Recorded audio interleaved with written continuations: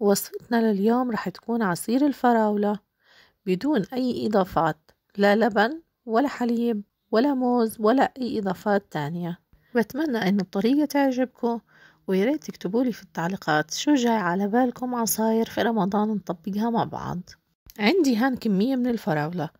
جزء منه رح أعمله عصير اليوم والباقي رح أحطه في أكياس تفريز بالفريزر وأطلع منه وأستخدمه وقت ما أحتاجه.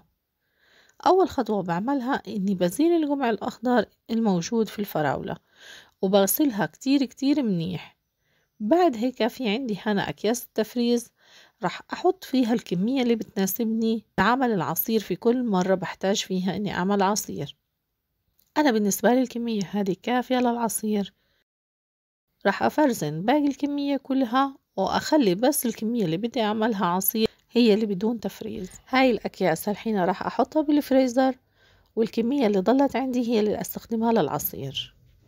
راح أضيف حبات الفراولة في شاف الخلاط. إذا توفر عندك بنجر مسلوق بتقدر تضيفيه برضو للعصير بيعطينا لون أحلى وبضيف قيمة غذائية أعلى. وراح أنزل عليهم بالمي. أنا ضفت حوالي 3 أكواب من المية بتقدري أنت تضاعفي الكمية حسب عيلتك. وضفت حوالي ربع كوب من السكر.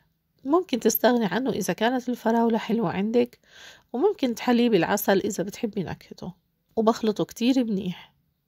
هاي الخطوة إضافية أنا حبيت بس أني أعملها عشان أزين الأكواب عندي. عندي هنا شوية سكر وصوص فراولة. بنزل كاسة العصير أول إشي بصوص الفراولة عشان تتكون عندي طبقة على الداير وبعد هيك راح أنزلها في السكر.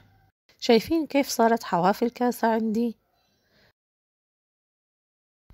وهيك بتكون جاهزة إني أصب فيها العصير. طعمه عن جد رائع.